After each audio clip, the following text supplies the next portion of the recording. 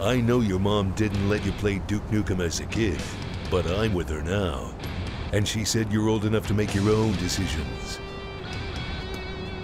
Just like her. Drink Duke Nukem Ego Boost.